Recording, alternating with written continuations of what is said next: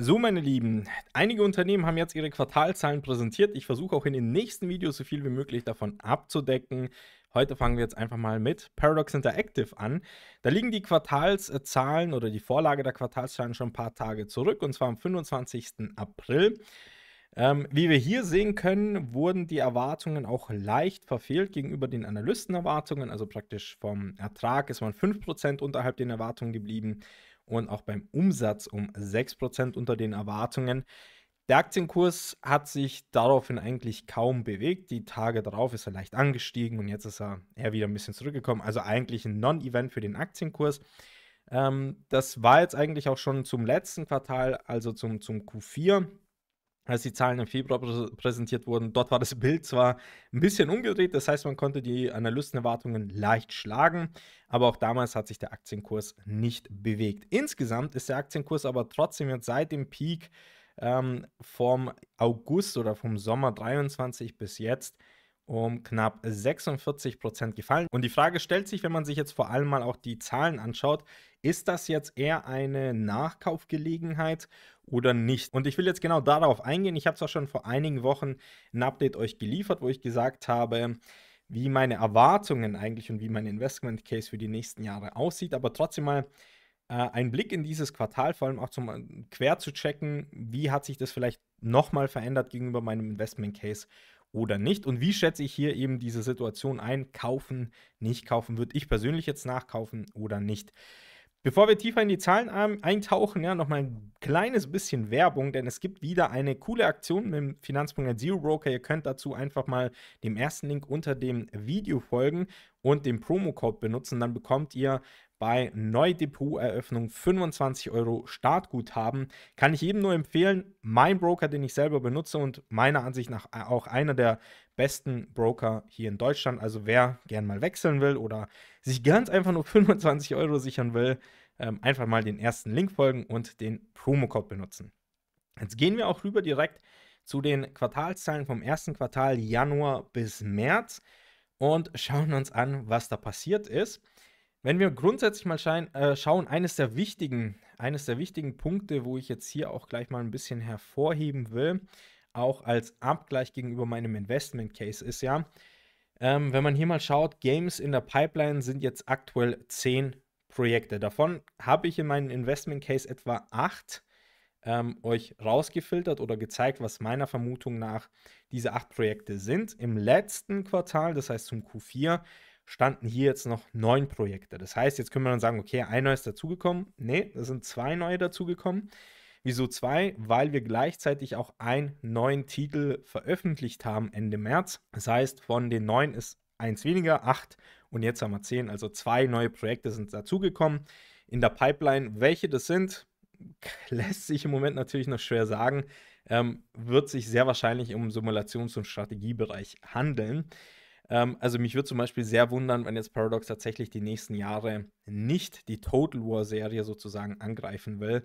Bei, äh, bei Civ hat man es ja schon ein bisschen probiert. Und wir schauen uns gleich noch ein bisschen an, ähm, wie sich das Game hier gegenüber meinen Erwartungen geschlagen hat, auch von den Verkaufszahlen. Aber hier erstmal der, der erste auffällige Punkt, ja.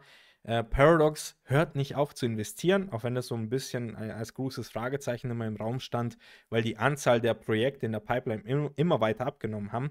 Jetzt kommen wieder neue hinzu. Also unterm Strich lässt sich sagen, Paradox investiert weiterhin in Wachstum.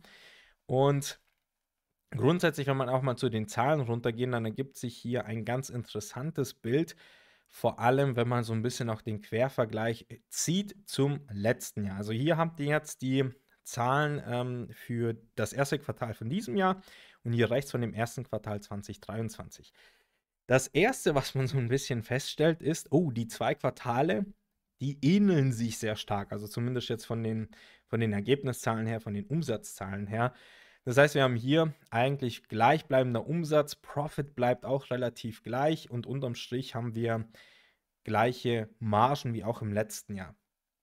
Trotzdem würde ich hier äh, einfach auf ein paar Nuancen eingehen, denn eigentlich, wenn wir mal runtergehen hier auf die Anzahl der Mitarbeiter, dann würde man ja jetzt vermuten, wenn die Anzahl der Mitarbeiter um eine deutliche Anzahl ähm, abnimmt, also keine Ahnung, 70 Personen, man jetzt in diesem Quartal weniger hat als noch im letzten, dann würde man ja eigentlich erwarten, dass die Kosten sinken und die Profitmargen ähm, steigen. Ja? Also so ein bisschen auch, wie ich in meinem Investment Case für die nächsten Jahre angenommen habe, wobei es bei mir dort weniger um die Personalkosten ging als um ein bisschen anderes Thema. Und hier muss man jetzt auf einen Punkt schließen, ja, das ist tatsächlich so. Also ich vermute auch tatsächlich, dass die Personalkosten ein bisschen gesunken sind. Aber wieso man hier das Ganze noch nicht im Profit sieht, ähm, hat zwei Gründe. Zum einen hat man immer noch eine relativ hohe Abschreibungsphase, weil sowohl City Skylines 2 von der degressiven Abschreibung noch relativ stark mit drin ist in den Abschreibungswerten her und Millennia jetzt rausgekommen ist und gleich auch im ersten äh, Monat eine relativ hohe Abschreibungssumme bekommt.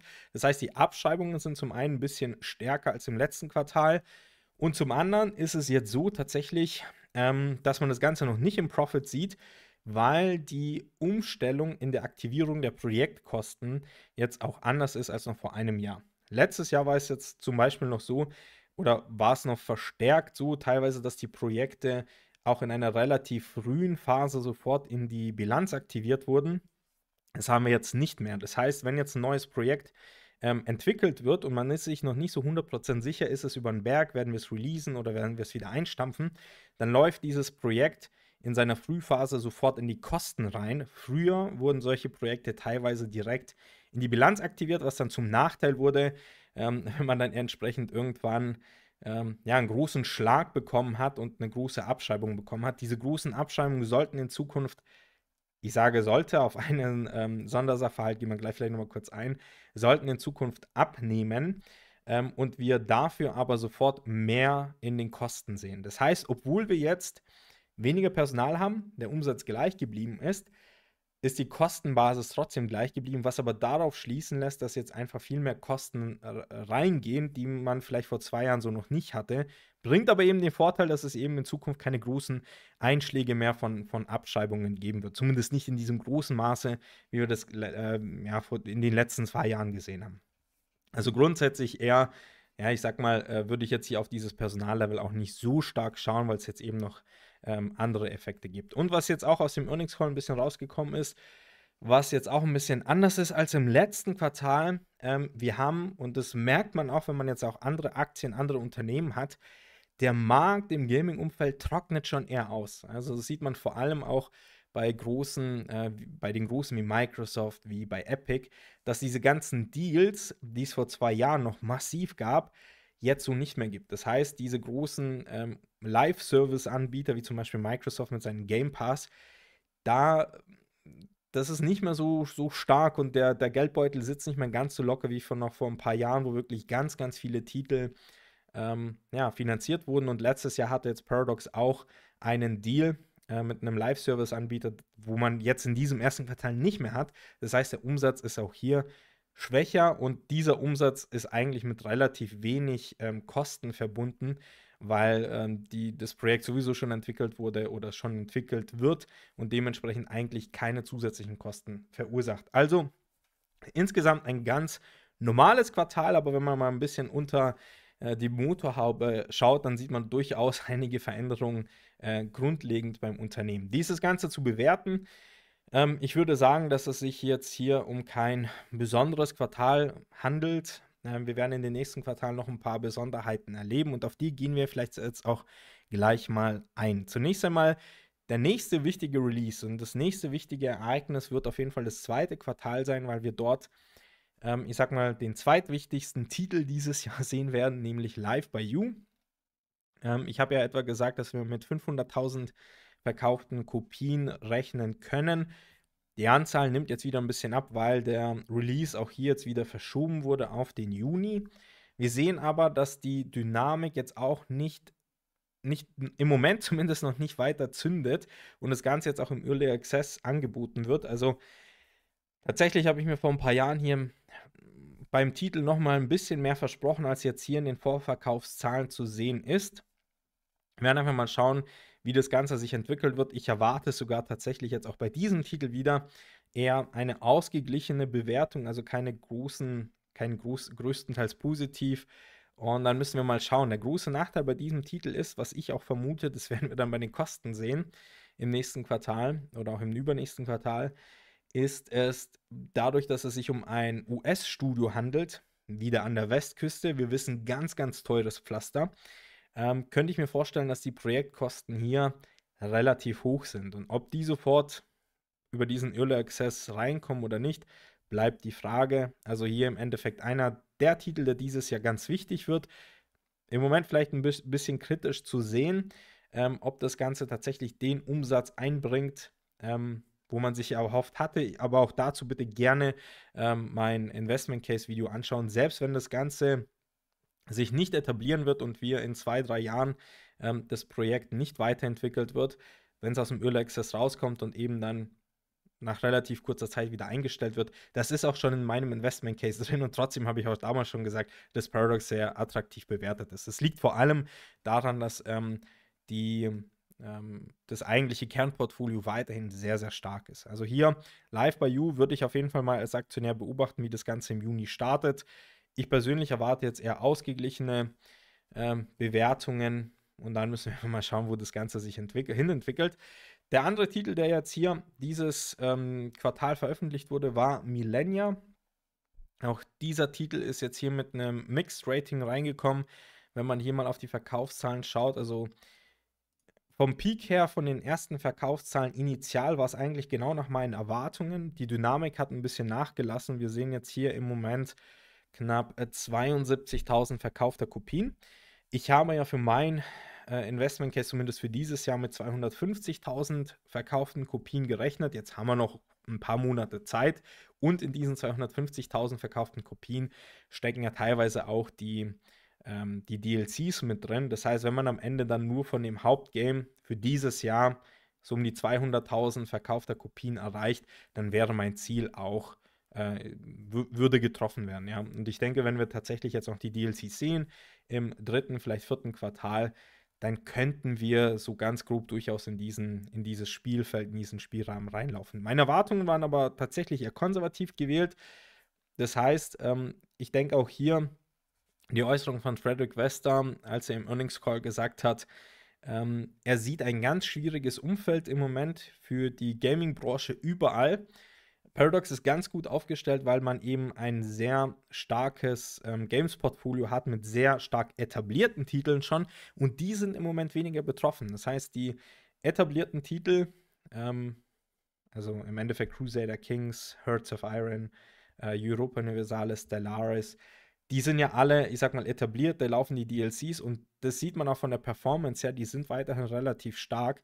Da muss man vor allem ein bisschen auf Qualität achten von Seiten Paradox, ganz wichtig, aber die, sind, die performen eigentlich ganz gut. Aber was man grundsätzlich auf dem Markt sieht, dass neue Projekte es eher tendenziell schwieriger haben. Jetzt muss ich hier ein bisschen dazu sagen, ja, sehe ich nur stellenweise so. Also wenn die Qualität stimmt, dann sehe ich auch durchaus einige Projekte, vor allem aus dem Indie-Bereich, die sich sehr, sehr gut verkaufen. Also, dass die, dass die Spieler jetzt keine Lust mehr haben, haben auf neue Titel, würde ich jetzt nicht sofort unterschreiben. Ich sehe aber ganz klar, dass vor allem sich die, ich sag mal, die größeren Studios, also das Paradox ist ja da nicht alleine, sondern wir können auch zu Ubisoft drüber schauen und überall anders hin. Die tun sich tatsächlich im Moment schwer, ähm, neue Titel zu etablieren und auch, ich sag mal, mit guter Qualität zu unterfüttern. Ganz viel merkt man tatsächlich, weil diese Titel oftmals die letzten fünf Jahre in Entwicklung waren oder drei bis fünf Jahre. Ganz viel dieser Qualität, äh, dieses Qualitätseinbruches kommt tatsächlich meiner Ansicht nach aus dieser Phase 2020, 2021, als ähm, ja, ganz viele Gaming-Studios auch gezwungen waren, ihr Personal nach Hause zu schicken und dann ähm, von zu Hause aus gearbeitet wurde. Sehr viel. Es hat, glaube ich, ganz viel an der Qualität ähm, zu spüren gelassen, was man jetzt auch stellenweise sieht. Und die Titel, die dann eher, sagen wir mal, mit ein, zwei Mann irgendwo im, im Keller gebaut wurden, die scheinen qualitativ technisch eher deutlich besser als die Games von den, ich sag mal, etablierten äh, Studios. Also hier muss man eher sagen, die Aussagen von Frederick Wester kann ich stellenweise unterschreiben. Ich sehe bei den großen, ähm, äh, bei den großen Studios und auch den großen Aktienunternehmen durchaus auch dieses Problem, dass sie neue Titel nicht so wirklich auf den Markt etablieren können im Moment. Was aber auch stellenweise tatsächlich eher an der Qualität meiner Ansicht nach liegt. Und davon ist Paradox jetzt auch nicht ausgenommen. Wir haben ja das Debakel über City Skyline 2 gesehen, ähm, wo meiner Ansicht nach eben ganz viel von diesem Aktienkurs ähm, liegen gelassen wurde oder diese Bewertung massiv abgebaut wurde, weil äh, eben das, dieses Projekt in den Sand gesetzt wurde. Das kann man mehr oder weniger schon so sagen. Ähm, auch wenn es jetzt keine Komplettabschreibung war und ich immer noch davon ausgehe und auch in meinem Investment Case berücksichtigt ist, dass der Titel sich über die nächsten Jahre zumindest, zumindest äh, ich sag mal, stabilisieren wird und etwa auf dem Niveau landen wird wie auch City Skylines 1 damals von den Verkaufszahlen.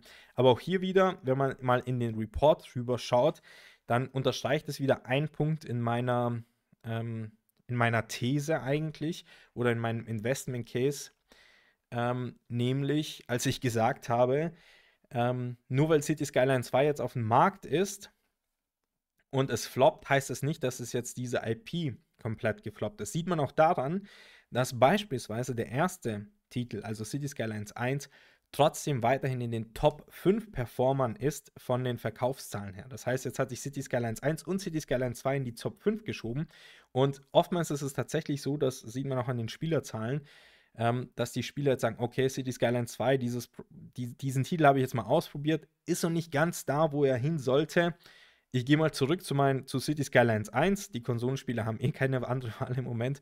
Und dann sagen dann eher viele, okay, jetzt habe ich noch mal ein bisschen länger Zeit, jetzt kann ich mir noch ein paar DLCs holen, die ich bisher vielleicht noch gar nicht hatte und habe genauso hin, weiterhin Spaß. Also wir sehen schon, dass das dieser ähm, verfehlte Release von City Skylines 2 nicht diesen massiven dramatischen Einbruch hatte, weil auch viele trotzdem weiterhin den Vorgänger spielen. Aber ich gehe davon aus, dass ich, ähm, dass ich City Skylines 2 stabilisiert und dann ähm, in zwei Jahren dann vielleicht tatsächlich auf dem Niveau von City Skylines 1 landet, City Skylines 1 dann im Laufe der Zeit ein bisschen abnimmt. Also sich das Ganze eher, ich sag mal, stabilisiert vom, vom Umsatzniveau her. Das heißt, Frederick Wester hat also tatsächlich auch gesagt, wir sehen eine sehr schwierige Phase auf dem Markt.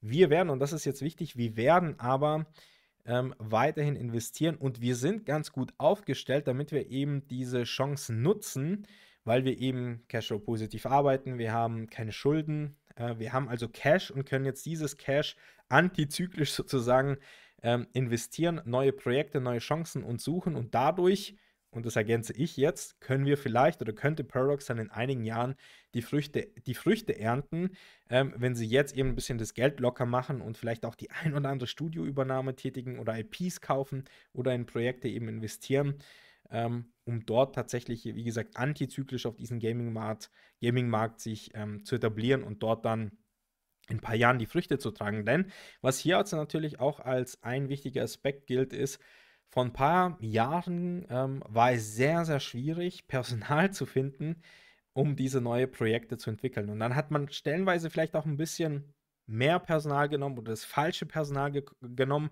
Das hat dann sich auf die Qualität ausgewirkt, was man jetzt, vor allem jetzt halt ein paar Jahre später, in den Jahren 2023, 2024 gesehen hat. Und eines dieser Projekte auch dieses Jahr, wo ich immer noch ein bisschen zweifle, ist äh, Bloodlines 2. Das ist nämlich das zweite Projekt, wo ich jetzt als Aktionär dieses Jahr verstärkt drauf blicken würde. Also das erste war ja Live by You, das zweite ist hier Bloodlines 2. Ähm, auch das ist in, meinen, in meinem Investment Case für dieses Jahr eher als Flop äh, einberechnet. Also ich rechne zwar initial schon mit einigen verkauften Kopien. Da sollte man vielleicht tatsächlich auch die 500.000 sprengen können weil man tatsächlich eine sehr starke Community hat, die sehr interessiert ist an diesem Spiel. Aber ich gehe nicht davon aus, dass sich dieses Spiel auch mit einem DLC-Modell für das Jahr, für das Folgejahr, also 2025 oder 2026 etabliert. Dazu fehlt einfach ja, noch, noch, einiges und ich glaube auch das ähm, Konzept hier ist einfach schwieriger umzusetzen ähm, mit einem DLC-Modell als jetzt Strategie- oder Simulationsspiele. Hier, aber auch hier nochmal das Fragezeichen, kommt Bloodlines 2 tatsächlich dieses Jahr? Na, ich, ich will ja hier nicht, äh, nicht ein bisschen, ähm, ja, schlecht reden, aber ich könnte mir auch vorstellen, dass mit den jüngsten Ereignissen, äh, was jetzt auf Paradox ein bisschen auf dem Markt auftritt, wir auch hier wiederum eine Verschiebung sehen könnten. Denn Paradox geht jetzt tatsächlich her und verschiebt eher reihenweise Titel, wo sie jetzt die Qualität nicht sehen. Also im Endeffekt kann man vielleicht auch sagen, gut, ja, man hat vielleicht aus City Skylines 2 gelernt. Ähm, ein Game, was sehr großes Potenzial hat, aber aufgrund wirklich sehr schlechter Qualität einfach einen Großteil des potenziellen Umsatzes einfach nicht eingebracht hat und man vielleicht dadurch auch den Schaden gesehen hat, was jetzt einfach die Projektkosten von einem Jahr, wenn man das Ganze jetzt einem Jahr länger Zeit gegeben hätte, dass die jetzt nicht so hoch gewesen wären wie dieser verlorene Umsatz. Und das gleiche wird eventuell für Bloodlines 2 gelten. Vielleicht wird es auch live bei You nochmal verschoben. Ähm, es gibt ja noch ähm, Prison Architect 2, das wiederholt verschoben wurde. Also da müsste man jetzt vielleicht auch als Aktionär ein bisschen verstärkt drauf schauen. Das könnte natürlich dann auch wiederum sich auf den Aktienkurs in den folgenden, folgenden Monaten auswirken. Das heißt, wenn wir hier wieder reihenweise Verschiebungen sehen, ähm, dann ist es erstmal negativ, weil die Analysten ja auch in ihren Zahlen, stellweise ich auch selber äh, in meinen Zahlen das Ganze eingerechnet habe, dass diese Titel eben zu den Zeitpunkten kommen, wie sie angekündigt waren. Also stellenweise habe ich schon ein bisschen ähm, konservativ bei dem einen oder anderen Titel gerechnet. Ähm, aber ja, an sich ist es auch schon grundsätzlich eher schlecht, wenn Titel dann eben verschoben werden. Ich denke, dass auch Paradox in Zukunft wieder dazu übergehen wird, die Titel wieder später anzukündigen ähm, und man tatsächlich jetzt eher mehr Zeit bekommt. Also hier ist man eben wieder aktuell in dieser schwierigen Lage, dass man jetzt grundsätzlich auf Qualität und das Vertrauen der Spieler zurückgewinnen will. Das sehe ich jetzt auch. Das hat jetzt auch Frederick Wester gesagt. Man hat auch als Unternehmen durchaus das Kapital, man hat den Cashflow, um das Ganze umzusetzen. Kurzfristig bedeutet das aber auch, der Aktienkurs kann er oder wird er tendenziell leiden. Oder wird ja zumindest keine Dynamik draus kommen. Also die wenigsten Aktienkurse reagieren positiv auf eine Verschiebung.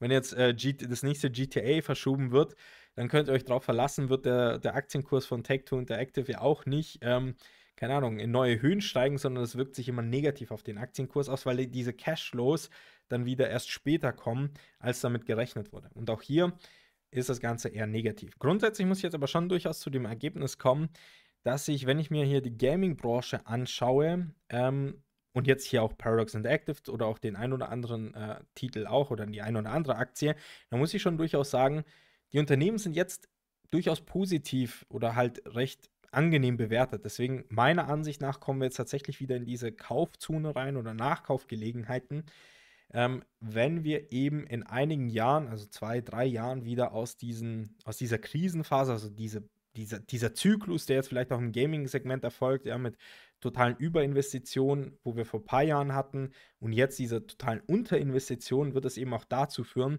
dass in ein paar Jahren weniger Titel auf den Markt kommen werden. Das heißt, dieser Markt, dieser Gaming-Markt sich eher so ein bisschen wieder selbst bereinigt und wir jetzt im Endeffekt sehen, dass die ähm, Unternehmen, die jetzt das Cash in die Hand nehmen und vielleicht die ein oder andere Übernahmen tätigen oder neue, in neue Titel investieren, dass sie eben in ein paar Jahren davon profitieren werden. Ja? Das sehe ich durchaus. Und hier ist Paradox und Paradox Interactive meiner Ansicht nach jetzt tatsächlich auch wieder von der Bewertung sehr attraktiv. Das heißt, ich bekomme jetzt für die Folgejahre etwa, laut Analystenschätzungen, meine sind noch ein Tick höher, zwischen 5 und, und 6 Prozent an Free Cashflow Rendite.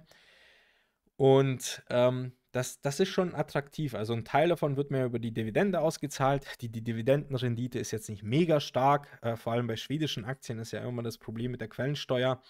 Ähm, aber wenn man hier mal brutto auf die 2% Dividendenrendite kommt, dann ist es okay. Und das Unternehmen investiert ja weiterhin in Wachstum. Das heißt, man zahlt im Moment etwa für weiterhin für die Folgejahre eigentlich für ein Wachstumsunternehmen eine recht angenehme ein recht angenehmes Multiple, also auch hier praktisch für dieses Jahr 24,8, wenn man jetzt auf das KGV schauen will, 24,8 oder unter 20 für das Folgejahr. Ähm, und auch hier praktisch Unternehmenswert zu Free Cashflow. Auch das ist deutlich unterhalb dem, was wir jetzt auch in den letzten Jahren als Übernahmepreis gesehen haben. Und Übernahmepreis ist auch da vielleicht nochmal ganz interessant. Ähm, von der Entwicklung her, Frederick Wester hält weiterhin, also hier zum, zumindest mal, ja, der Stand Dezember 31. Ähm, 31. Dezember 2023, da hatte Frederick Wester 33,36% des Unternehmens, hat er weiterhin hält also den Großteil der Aktien. Und wenn man jetzt mal schaut, zum 31. März sind es genau die, die gleiche Anzahl an Aktien. Also Frederick Wester ist CEO, verkauft keine Aktien. Er lässt sich das Ganze eher als Dividende auszahlen und investiert dann in einen Fußballclub. Ja, ähm, kann man mögen oder nicht mögen. Vielleicht werden wir in ein paar Jahren äh, ein, ein Fußballgame von Paradox sehen. Sehr, sehr wahrscheinlich, kann ich mir vorstellen. Ähm, man sieht aber schon hier, also Frederick Wester ist weiterhin auch mit der gleichen Zielrichtung wie auch ich investiert, damit das Unternehmen in, auch in Zukunft wächst. Was wir aber sehen, und da kommt vielleicht auch so ein bisschen auch der Verkaufsdruck her von den letzten Monaten, ähm, wenn wir mal hier den Vergleich ziehen zwischen 31.03. und 31.12. Spiltan verkauft er tendenziell Aktien. Das läuft über den, er, ich würde schon sagen, über die letzten Jahre tendenziell so.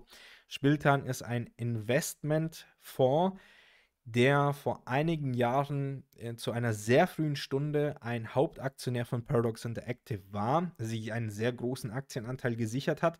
Und ähm, Spiltan ist selber börsengehandelt. Und wenn man sich bei denen mal anschaut, ja, bei denen ist mehr als die Hälfte des Portfolios ähm, steckt in Paradox drin. Und die versuchen im Laufe der Zeit natürlich dieses Klumpenrisiko, was die äh, entsprechend haben, immer so ein bisschen stückchenweise zu, zu entlasten aus ihrem Portfolio. Und deswegen verkaufen die auch eigentlich die letzten Jahre immer bei Gelegenheiten immer ein bisschen mehr. Und hier waren es jetzt zwischen ähm, dem 31.12. und dem 31.03., wenn ich das jetzt richtig sehe, fast 400.000 Aktien. Ja. Tencent hat sich kaum bewegt, die haben jetzt irgendwie ein bisschen abgerundet. Ähm, also sie hatten hier eine, eine, krumme Zahl an Aktien, jetzt ist es ein bisschen runder, das heißt, sie haben ein bisschen konsolidiert, nehme ich mal an, aber das ist eigentlich genau die gleiche Anzahl an, an Wert, also die sind auch weiterhin Anker-Investor. Äh, also hier kann man eher sagen, hier kommt eigentlich aus diesen Insidern, wenn man das so sagen will, jetzt kein, zumindest kein, kein Kaufdruck, sondern eher der ein oder andere, also hier vor allem Spiltan, ja, die sind immer groß, da kommt eher so ein bisschen auch das negative Signal. Von meiner Seite aus, ich habe weiterhin Paradox Interactive im Depot. Es ist weiterhin meine größte Position. Jetzt muss ich achten, was ich sage, denn SoFi war mal äh, ein Tag besser aufgrund des eher schlechten ähm, Aktienkurses nach dem letzten Quartal ist Paradox wieder auf Platz 1. SoFi schauen wir uns auch nochmal an. Ich würde jetzt aber hier tatsächlich hingehen und sagen, der Wert oder die Bewertung der Aktie ist für mich wieder so attraktiv, dass wir jetzt hier definitiv wieder in der Kaufzone sind. Auch für mich persönlich, auch wenn es die größte Position ist. Tut mir leid, ja, ihr könnt mich gern verfluchen, aber für mich ist es halt jetzt wieder eine Kumulierungsphase und dann baue ich halt weiter Paradox Interactive auf. Ich sehe für die nächsten Jahre weiterhin Wachstum. Ich sehe Profitabilität, ich sehe sehr hohe Margen. Ähm, und die Bewertung passt jetzt. Ja, da wurde einiges nicht so richtig gemacht. Also deswegen äh, ist auch der Aktienkurs hier runtergegangen, ganz klar. Ähm, aber meiner Ansicht nach ist der Aktienkurs schneller und tiefer gefallen, als die, ähm, als sich das Geschäftsmodell negativ entwickelt hat. Man hat das eine oder andere, hätte man durch, durchaus viel besser machen können.